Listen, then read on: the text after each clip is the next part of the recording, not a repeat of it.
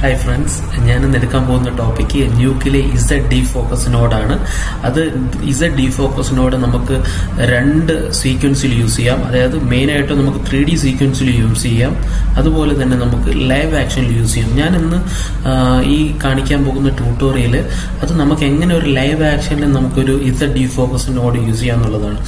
ആദ്യമായിട്ട് ഞാൻ ഇത് ഇസഡ് ഡി ഫോക്കസ് നോഡ് എന്താണെന്ന് പറയാം. എന്താണ് ആദ്യ- ആദ്യത്തിൽ ഫോക്കസും ഡീ ഫോക്കസും അതായത് നമുക്കൊരു പർട്ടിക്കുലർ ഷോട്ടിൽ നമുക്ക് ഏതൊക്കെ ഏരിയാസ് നമ്മുടെ ഫോക്കസിൽ വരണം അല്ലെങ്കിൽ ഏതൊക്കെ ഏരിയാസ് നമ്മുടെ ഫോക്കസിൽ നിന്ന് ഔട്ട് ആവണം അതിന് വേണ്ടിയിട്ട് നമ്മൾ ന്യൂക്ലിയർ യൂസ് ചെയ്യുന്ന നോഡാണ് ഇസഡ് ഡി ഫോക്കസ് എന്ന് പറയുന്ന നോഡ് അപ്പോൾ ഞാനിന്ന് നിങ്ങൾക്ക് എടുക്കുന്ന ടോപ്പിക്ക് എങ്ങനെ നമുക്കൊരു ലൈവ് ആക്ഷനിൽ എങ്ങനെ ഇസഡ് ഡി ഫോക്കസ് നോഡ് ഉപയോഗിച്ച് നമ്മുടെ ലൈവ് ആക്ഷനിൽ ഒരു പർട്ടിക്കുലർ ഏരിയയിൽ നമുക്ക് ഫോക്കസ് ഔട്ട് ആക്കാം. അല്ലെങ്കിൽ ഒരു പർട്ടിക്കുലർ ഏരിയ നമുക്ക് ഫോക്കസ് ഇൻ ആക്കാം എന്നുള്ളതാണ്. അപ്പോൾ ഇത് ഞാൻ പറയുന്നത് ഒരു ത്രീ ഡി ആംഗിളിൽ നിങ്ങൾ ചിന്തിക്കേണ്ട. ത്രീ ഡി ആംഗിൾസിലാണെങ്കിൽ നമുക്ക് ഡിഫറെന്റ് ടൈപ്പ് ഓഫ് പാസസ് വെച്ച് നമ്മൾ കമ്പയർ ചെയ്യണം.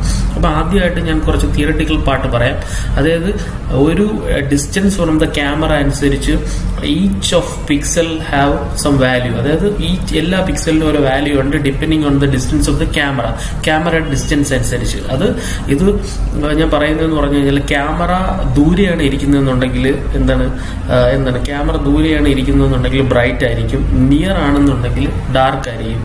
ഇത് ന്യൂക്കിന്റെ വളരെ ബേസിക് ആയിട്ടൊരു ട്യൂട്ടോറിയൽ അല്ല ഇത് അഡ്വാൻസ്ഡ് ട്യൂട്ടോറിയലാണ് എന്റെ സ്റ്റുഡൻസ് ന്യൂക്ക് അറിയാമെന്നുള്ള എന്റെ സ്റ്റുഡൻസ് പറഞ്ഞ് ഞാൻ അവർക്ക് വേണ്ടിയിട്ട് ബിൽഡ് ചെയ്ത ട്യൂട്ടോറിയലാണ് ഇത് ഇത് ആക്ച്വലി എന്ന് പറഞ്ഞു കഴിഞ്ഞാൽ ഞാൻ നേരത്തെ പറഞ്ഞ പോലെ ഒരു ഇസഡ് ഡി ഫോക്കസിൽ ഒരു ഡെപ്ത് ജനറേറ്റർ വെച്ചിട്ട് എങ്ങനെ നമുക്കൊരു ലൈവ് ആക്ഷനിൽ ഫോക്കസ് ഇന്നും ഫോക്കസ് ഔട്ടും ജനറേറ്റ് ചെയ്യാന്നുള്ളതാണ്. നോർമലി ഇപ്പൊ എന്റെ സ്റ്റുഡൻസിന് തന്നെ നോർമലി ഞാൻ ഫോക്കസും അല്ലെങ്കിൽ ഇസഡ് ഡി ഫോക്കസും ത്രീ ഡി പാസസ് വെച്ച് എങ്ങനെ നമുക്ക് ചെയ്യാമെന്നുള്ള കാര്യം ഞാൻ അവർക്ക് പറഞ്ഞിട്ടുണ്ട്. അപ്പോൾ അവർ പ്രത്യേകം പറഞ്ഞു ഇങ്ങനെ ഇങ്ങനെ ഒരു ട്യൂട്ടോറിയലാണ് അവർ ആവശ്യപ്പെട്ടിട്ടുള്ളത്. അതുകൊണ്ടാണ് ഞാൻ ഈ ട്യൂട്ടോറിയൽ ബിൽഡ് ചെയ്തിട്ടുള്ളത്. So please enjoy my tutorial ആദ്യമായിട്ട് ഞാൻ ന്യൂ ഓപ്പൺ ചെയ്തിരിക്കുകയാണ്. അതിനുശേഷം റീഡ് വഴി നമുക്ക് ഈ സ്കേറ്റർ ബോർഡ് എന്ന് പറഞ്ഞ പി എൻ ജി സീക്വൻസ് നമുക്ക് ഇതിൽ ഓപ്പൺ ചെയ്യാം. എന്നിട്ട് ഞാനിത് വ്യൂറിലായിട്ട് കണക്ട് ചെയ്തിരിക്കുകയാണ്. വ്യൂർ കണക്ട് ചെയ്തിട്ട് ഞാൻ ജസ്റ്റ് പ്ലേ ചെയ്തു. ഇതൊരു നാൽപ്പത് ഫ്രെയിമുള്ള സീക്വൻസ് ആണ്. അതാണ് നമുക്ക് പെട്ടെന്ന് ഡെപ്ത് ജനറേറ്റർ വഴി നമുക്ക് റെൻഡർ ചെയ്തെടുക്കാൻ പറ്റും. അതുകൊണ്ടാണ് ഞാൻ വലിയ സീക്വൻസ് എടുക്കാത്തത്. നിങ്ങൾക്ക് ട്രൈ ചെയ്ത് നോക്കാം വലിയ സീക്വൻസ് വഴി.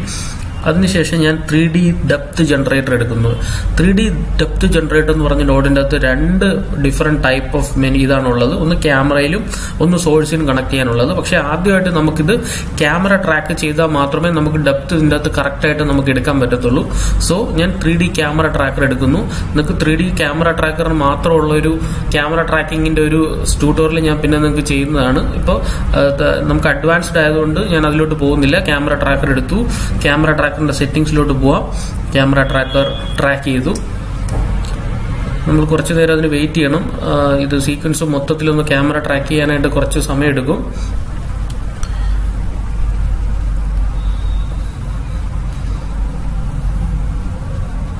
ഓക്കെ ട്രാക്ക് ചെയ്തുകൊണ്ടിരിക്കുകയാണ്. ഓക്കെ എറൗണ്ട് യാ നൂറ് ഫ്രെയിംസ് കഴിഞ്ഞിരിക്കുകയാണ്. ഞാൻ അതിനൊന്ന് സോൾവ് ചെയ്തു. ഓക്കെ അതിനുശേഷം ഞാൻ അതിന്റെ അകത്ത് നിന്നും ഒരു സീൻ ക്രിയേറ്റ് ചെയ്തു. അപ്പോൾ നമുക്കൊരു ത്രീ ഡി സീൻ ഉൾപ്പെടെ എല്ലാം നമുക്ക് ഇതിന്റെ അകത്ത് ലഭ്യമാണ്. അത് ക്ലിക്ക് ചെയ്ത ശേഷം വ്യൂവറിന് ഡിസ്കണക്ട് ചെയ്യുക. ട്രാക്കർ പോയിന്റ് നമുക്ക് മാറ്റി വയ്ക്കാം. എന്നിട്ട് നേരെ ക്യാമറയെ നമുക്കെടുത്ത് ഡയറക്റ്റ് ആയിട്ട് ക്യാമറയിൽ കണക്ട് ചെയ്യാം. സോഴ്സിനെ ഡയറക്റ്റ് ആയിട്ട് നമുക്ക് ഫുട്ടേജിൽ കണക്ട് ചെയ്യാം. വ്യൂവറിന് എടുത്ത് നമുക്ക് ഡെപ്തിലും കണക്ട് ചെയ്യാവുന്നതാണ്. അപ്പോൾ നമുക്ക് ഈ കാണുന്ന ക്യാമറ ട്രാക്കിംഗ് പോയിന്റ് ഉണ്ട്. നമുക്കത് ഡിസ്റ്റർബൻസ് ആണെന്നുണ്ടെങ്കിൽ നിങ്ങൾ ക്യൂ അടിച്ച് അതിന്റെ ഓവർലേ അങ്ങ് ഓഫ് ചെയ്യുക. ഓക്കെ അത് കഴിഞ്ഞിട്ട് ഞാൻ ഡെപ്ത് കോൾ ചെയ്ത് കൊടുക്കുകയാണ് ആ ലെഫ്റ്റ് സൈഡിൽ നിന്ന് ഇപ്പൊ നമുക്ക് കാണാവുന്നതാണ് നമ്മളെ ഡെപ്ത് ഓൾറെഡി അത് ജനറേറ്റ് ചെയ്ത് കഴിഞ്ഞിരിക്കുകയാണ്. നമുക്കത് പ്ലേ ചെയ്ത് കഴിഞ്ഞാൽ നമുക്ക് ആ സീക്വൻസ് കാണാൻ പറ്റും. പക്ഷെ സീക്വൻസ് അത്ര വ്യക്തമല്ല. നമുക്ക് വ്യക്തമായിട്ട് കാണണം ആ സീക്വൻസ് എന്താണെന്നുള്ളത്. സോ അതിന് വേണ്ടിയിട്ട് നമുക്ക് ജസ്റ്റ് ഒന്നും കൂടെ നമുക്കൊന്ന് പ്ലേ ചെയ്ത് നോക്കാം. അതിന് വേണ്ടിയിട്ട് നമുക്കൊന്ന് അനലൈസ് ചെയ്ത് കൊടുക്കാം കറക്റ്റ് ആയിട്ട്. അനലൈസ് സീക്വൻസ് ഉണ്ട്. അതായത് ഡെപ്ത് ജനറേറ്റ് ഡബിൾ ക്ലിക്ക് ചെയ്യുമ്പോൾ അതിന്റെ റൈറ്റ് ഹാൻഡ് സൈഡിലെ പ്രോപ്പർട്ടീസിന്റെ അകത്ത് ഈ സീക്വൻസ് ഫുൾ ആയിട്ട് ഒന്ന് അനലൈസ് ചെയ്യുക. ഫുൾ ആയിട്ട് അനലൈസ് ചെയ്ത ശേഷം നമുക്ക് ഇപ്പൊ നമ്മൾ സീക്വൻസ് ആണെങ്കിൽ അനലൈസ് ഫ്രെയിമിൽ ക്ലിക്ക് ചെയ്ത് നമുക്ക് കംപ്ലീറ്റ് ഫ്രെയിം നമുക്ക് അനലൈസ് ചെയ്യണം. ഇനി നമ്മൾ നോക്കിക്കഴിഞ്ഞാൽ എക്സാക്ട് നമുക്ക് എന്താണ് ആ ഫുട്ടേജ് ആ ഫുട്ടേജിന്റെ ഡെപ്ത് നമുക്ക് അതിന്റെ അകത്ത് എക്സാക്ട് ആയിട്ട് കാണാൻ സാധിക്കും. ജസ്റ്റ് ഒന്ന് പ്ലേ ചെയ്ത് നോക്കിക്കഴിഞ്ഞാൽ നേരത്തെ പോലെ അല്ല. അതേപോലെ നമുക്ക് ഇതിന്റെ ഡെപ്ത് ഡീറ്റെയിൽ നമുക്ക് കോൾ ചെയ്ത് ഓൺ ആക്കി കഴിഞ്ഞാൽ കുറച്ചും കൂടി ഡെപ്ത് നമുക്ക് കാണാൻ സാധിക്കും.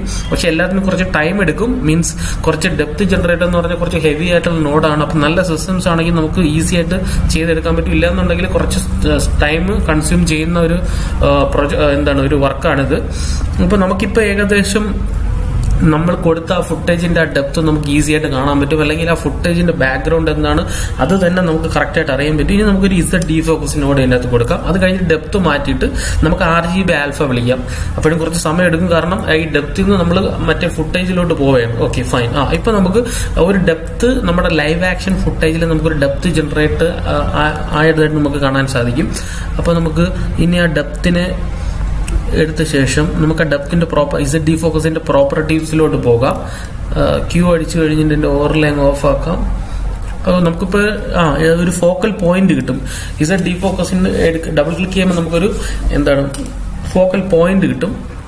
ആ ഫോക്കൽ പോയിന്റ് അവിടെ വെച്ചതിന് ശേഷം നമുക്ക് ഔട്ട്പുട്ടിന്റെ അകത്ത് നമുക്ക് ഇസഡ് ഡിഫോക്സിന്റെ പ്രോപ്പർട്ടിക്കകത്ത് ഫോക്കൽ പ്ലെയിൻ സെറ്റപ്പ് എടുക്കുക. ഈ ഫോക്കൽ പ്ലെയിൻ സെറ്റപ്പിൽ നമുക്ക് വെച്ച ശേഷം നമുക്ക് അതിന്റെ ഡെപ്ത് ഓഫ് ഫീൽഡ് നമുക്ക് അഡ്ജസ്റ്റ് ചെയ്യാൻ പറ്റും. അപ്പൊ ഈ കാണുന്നതെന്ന് പറഞ്ഞു കഴിഞ്ഞാൽ കറക്റ്റ് ആയിട്ടുള്ള ഫോക്കസ് പോയിന്റ് അല്ല. കറക്റ്റ് ആയിട്ടുള്ള ഫോക്കസ് പോയിന്റ് നമുക്ക് അറിയണമെന്നുണ്ടെങ്കിൽ അതൊരു ഗ്രീൻ ആയിരിക്കും അതിന്റെ കളർ ഇപ്പൊ നമുക്ക് ഈ ക്യാരക്ടറിൽ വേണമെന്നുണ്ടെങ്കിൽ ക്യാരക്ടറിൽ കൊണ്ടുവച്ചിട്ട് നമുക്ക് അതിന്റെ ഫോക്കസ് പോയിന്റ് നമുക്ക് അഡ്ജസ്റ്റ് ചെയ്യാൻ പറ്റും. അതായത് ഫോക്കൽ പ്ലെയിൻ സെറ്റപ്പിൽ ഡെപ്ത് ഓഫ് ഫീൽഡ് നമ്മൾ അഡ്ജസ്റ്റ് ചെയ്ത് കഴിഞ്ഞാൽ നിങ്ങൾക്ക് ഇപ്പൊ കാണാൻ ഒരു എന്താണ്? ഒരു പച്ച കളർ വരുന്നുണ്ട്. പച്ച കളർ മീൻസ് അത് ഫോക്കസും ആയിരിക്കും. ബാക്കിയുള്ളതെല്ലാം ഔട്ട് ഓഫ് ഫോക്കസും ആയിരിക്കും. നിങ്ങൾ സൈസ് അഡ്ജസ്റ്റ് ചെയ്ത് കഴിഞ്ഞാൽ നമ്മളെ ബ്ലർ മീൻസ് എന്താണ് ഫോക്കസ് ഔട്ടിന്റെ അഡ്ജസ്റ്റ് അല്ല മാറുന്നത്. സൈസ് അഡ്ജസ്റ്റ് ചെയ്ത് കഴിഞ്ഞാൽ ആ ഡെപ്ത് ഓഫ് ഫീൽഡിന്റെ സൈസാണ് മാറുന്നത്. മീൻസ് ബ്ലറിന്റെ എന്താണ് സൈസാണ് അവിടെ മാറുന്നത്. വീണ്ടും നമുക്ക് തിരിച്ച് കാണണമെന്നുണ്ടെങ്കിൽ ഔട്ട്പുട്ടിൽ ക്ലിക്ക് ചെയ്യുക റിസൾട്ടിൽ പോവുക. അപ്പൊ ചെക്ക് ചെയ്ത് നോക്കി കഴിഞ്ഞാൽ കാരണം ഇപ്പൊ നമ്മൾ സൈസ് വളരെ കുറച്ചാണ്. സൈസ് കൂട്ടും തോറും നമുക്ക് ബാക്കി ഏരിയ ബ്ലറും എന്താണ്? ആ നിൽക്കുന്ന ക്യാരക്ടർ മാത്രം ബ്ലർ അല്ലാതെയുമായിട്ട് നമുക്ക് കാണാൻ സാധിക്കും. നമുക്ക് വാല്യൂ കുറച്ചും കൂടി നന്നായിട്ട് അഡ്ജസ്റ്റ് ചെയ്യാം. ഫോക്കൽ പ്ലെയിൻ സെറ്റപ്പ് എടുക്കുക. എന്നിട്ട് നമുക്ക് അതിനെ ഫോക്കൽ പോയിന്റിന് നമുക്ക് അഡ്ജസ്റ്റ് ചെയ്ത് പർട്ടിക്കുലർ ആ ഒരു ഒബ്ജക്റ്റിലോട്ട് വെച്ച ശേഷം നമുക്ക് സൈസ് നന്നായിട്ട് അഡ്ജസ്റ്റ് ചെയ്ത ശേഷം ഫോക്കൽ പ്ലെയിൻ സെറ്റപ്പിന്റെ അകത്ത് റിസൾട്ട് എടുത്ത് നോക്കുക. ഇപ്പൊ നിങ്ങൾക്ക് കറക്റ്റ് ആയിട്ട് മനസ്സിലാവുന്നുണ്ട്. എന്താണ് ഫോക്കലും ഫോക്കസ് പോയിന്റും ഔട്ട് ഓഫ് ഫോക്കസും ഡെപ്ത് ഓഫ് ഡെപ്ത് ജനറേറ്റർ വെച്ച് നമുക്കിങ്ങനെ ലൈവ് ആക്ഷനിൽ നമുക്ക് വളരെ ഈസി ആയിട്ട് നമുക്ക് ചെയ്യാൻ പറ്റും. നമുക്ക് തിരിച്ച് വീണ്ടും ഫോക്കൽ പോയിന്റിൽ പോവാം.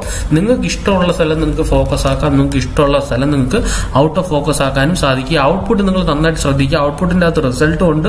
ഫോക്കൽ പ്ലെയിൻ സെറ്റപ്പ് ഉണ്ട്. ഫോക്കൽ പ്ലെയിൻ സെറ്റപ്പ് അഡ്ജസ്റ്റ് ചെയ്യുന്നതോറും നമുക്ക് നമുക്ക് ഇഷ്ടമുള്ള ഏരിയാസ് നമുക്ക് ഫോക്കസ് ഇൻ ആക്കാൻ പറ്റും. അതേപോലെ സൈസ് നമ്മൾ കൂടുതൽ ഇൻക്രീസ് ചെയ്യുന്നതോറും തോറും നമുക്ക് അതിന്റെ സൈസ് ബ്ലറിന്റെ സൈസ് അല്ലെങ്കിൽ ഔട്ട് ഓഫ് ഫോക്കസിന്റെ സൈസ് നമുക്ക് കൂടുതലായിട്ട് കാണാൻ പറ്റും. അപ്പൊ ഈ കാണുന്ന ഏരിയ മാത്രം ഫോക്കസ് ഇന്നും ബാക്കി എല്ലാം ഫോക്കസ് ഔട്ടുമാണ് നമ്മളിപ്പോൾ കൊടുത്ത ഏരിയ മാത്രമാണ് ഫോക്കസ് ഇന്നും ബാക്കി area complete out of focus ആണ്. ഓക്കെ നിങ്ങളിത് റിപ്പീറ്റ് ആയിട്ട് ട്രൈ ചെയ്തുകൊണ്ടിരിക്കുക.